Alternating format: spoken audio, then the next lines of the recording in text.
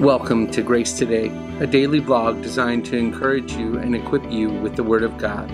Let's begin. Well, welcome back to Grace Today. Um, as we say in the intro of these all the time, the purpose of this series is to encourage you with the Word of God. And so we're starting a new series where we're going to go through the book of Proverbs together. Now, I'm not sure exactly how many verses we'll cover in every episode. I know how many we're going to cover today. Uh, but each day we're going to look at a section of the Proverbs and uh, have some devotional thoughts on that that would hopefully encourage us and uplift us as we go about our day trying to live in godly wisdom. So today we're going to start by looking at Proverbs chapter 1, verses 1 through 7. As always, follow along with me in your Bible as I read Proverbs chapter 1, verses 1 through 7. The Proverbs of Solomon, the son of David, king of Israel to know wisdom and instruction, to discern the sayings of understanding, to receive instruction in wise behavior, righteousness, justice, and equity, to give prudence to the naive, to the youth knowledge and discretion. A wise man will hear and increase in learning, and a man of understanding will acquire wise counsel. To understand a proverb and a figure, the words of the wise and their riddles. The fear of the Lord is the beginning of knowledge Fools despise wisdom and instruction. Here we have the introduction to the book of Proverbs.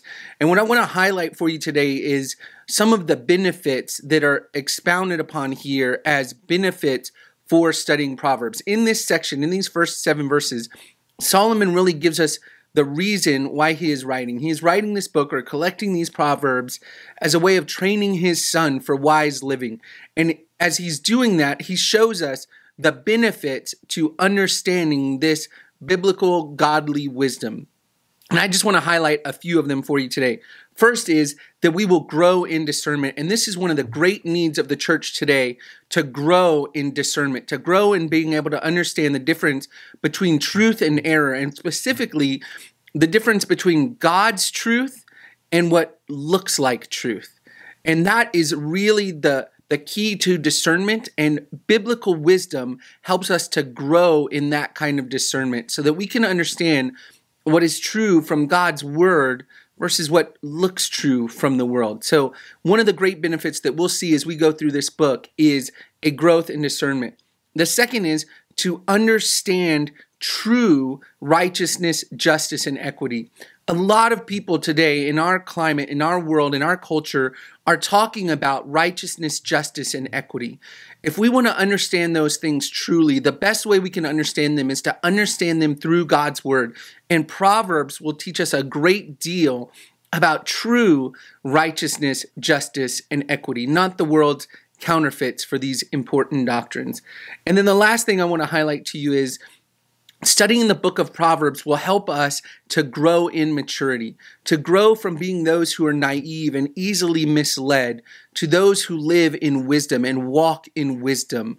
And then, of course, this section, this introduction hits us with this powerful truth that the basis of wisdom, if we are to pursue wisdom, wisdom from the book of Proverbs, wisdom that is biblical and godly, it has to start with a fear of the Lord. The beginning of wisdom is the fear of the Lord, is a true, reverent, holy fear for the God of the universe, the loving Father who created all things and who upholds all things by the power of his hand and who sent his Son to redeem us. If we are going to grow in wisdom through this study of Proverbs, it won't just be from studying the Proverbs, but we have to come in with a healthy growth or a healthy understanding of the fear of the Lord a righteous reverence for God. And that's why I'm excited. Both our men's and women's group are going to be going through a book here uh, on the fear of the Lord. And I would encourage you, if you haven't already plugged into the women's, uh, the ladies who book lunch or the men's study on Saturday mornings, um, get into that because they're going to be looking at a book on the fear of the Lord. And as we do that, we will grow in wisdom. Well, I hope you're excited for this new series of Grace Today. I pray that it is an encouragement to you and that we as a church will grow in good, godly wisdom as we go through this. I love you, Grace Community, I'm praying for you. Have a great day. Thanks for tuning in to the Grace Today vlog. For more information on Grace Community Baptist Church in Elgin, Texas, or how you can support this ministry, check out the links in the description below. See you tomorrow.